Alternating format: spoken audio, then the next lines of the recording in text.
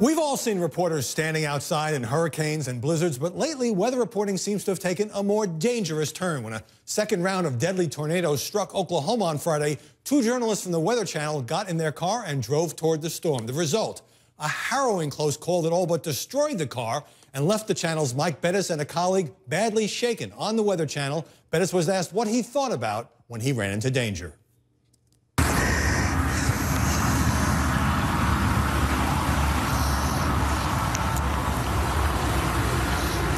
Good question, Dave.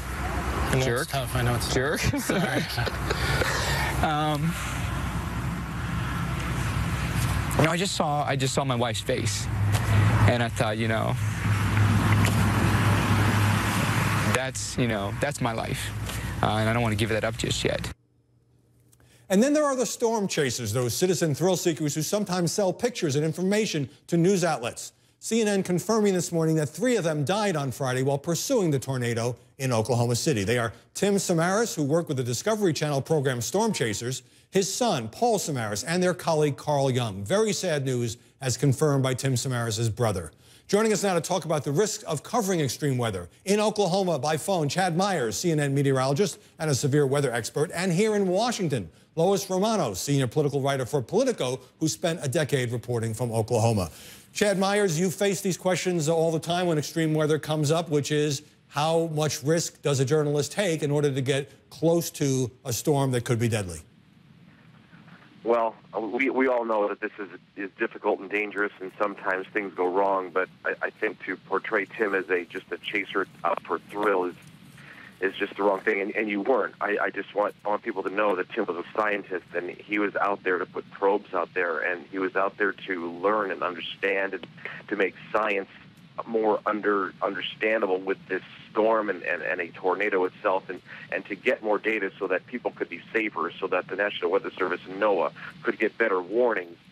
You know, we all go out there and we, and we try to protect the public, but Tim was even one step higher and I've had a very hard morning. You can hear it in my voice. I'm yeah, sure. I really can, uh, Chad. And, and uh, Tim Samaras has an engineering background. What a tragedy that he was killed with his son. He says that he has gotten by financially by getting snippets of funding from the government and from the media. And Lois Romano is somebody who lived in the Oklahoma City area, in the Tulsa area, I should say. Um, There's just no one safer than Tim. Tim, Tim, he would never put himself in danger. He certainly wouldn't put his son in danger. And to get to get left turned by that storm or right turned, where, wherever Tim was, I don't know where he was.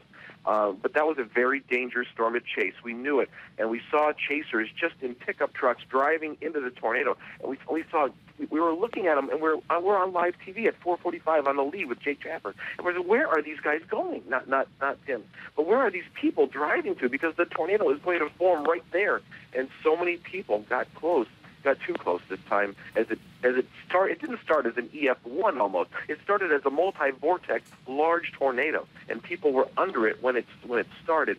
We were about seven miles away. We were in a perfectly safe position, and, and I'm sure Tim was too. But he wants to put these little probes out there to figure out what right. the pressure drops is, what what what these what this multi-vortex means, and how to better forecast a large tornado dropping straight out of a storm, not starting as a 70 mile per hour dust devil. Chad, um, let me let me jump in and turn to Lois Romano, who worked in Oklahoma, where tornadoes, of course, are, are a way of life. And sure. in 1999, there was a storm in Moore, which was uh, also right. recently which hit. paralleled the storm. And you interviewed people and talk a little bit about the media's role in this. Well, well, first of all, let me just say it's like covering a war zone. So there is a very important role for the media, and they're doing a public service. But I uh, went into the aftermath of the storm, and, a, and, an elderly gentleman took me into what was his home. It was completely torn down, and he showed me his easy chair, which was maybe about 50 yards away. And he was telling me how he was sitting in his little condominium in his easy chair watching the radar from all the weather channels when all of a sudden he realized the thing was getting really close. And he just said whoops i better get in the car. And then he just went and raced it raced himself ahead of the tornado. So he believes that the the weathermen saved his life. And so it plays a role. I mean, the media play a role in warnings. They play a role in assessing the damage because they fly the helicopters, which and then in turn lets the government declare it a disaster area and gets aid. Right. And Chad Myers, you talked about uh, being perfectly safe because you were seven miles away from this killer storm. But can you really be perfectly safe in that kind of situation? And is Is it journalism and a desire to be near the action that leads uh, meteorologists and journalists and correspondents and Weather Channel people to try to get as close as possible, or is it also just good television? Well, we all know where to be on a tornado that moves to the northeast, Howie. We all want to be to the southeast of the storm. We want to be where the air is clear. It's not even raining. There's no hail. And you want to look into the storm from the southeast to the northwest. Great pictures. That's where the definition is. The tornado will be dark. The sky will be light. We'll have great pictures on television. Yes, that's where we want to be. But this storm was different. This storm put down a tornado, a very large multi-vortex, 150 mile per hour tornado, and then it lost that vortex as it turned to the to the to the left, and another tornado actually developed right behind us. We had driven another 10 miles away from the storm, and another tornado set down not less than a mile from us. Right. And then later on in the day, 15 minutes later, another tornado was on the ground 15 miles west of there that was heading back to us. Just That's underscoring, just underscoring how dangerous these assignments can be. And you, you're often in the middle of that, Chad Myers. Appreciate your calling in from Oklahoma.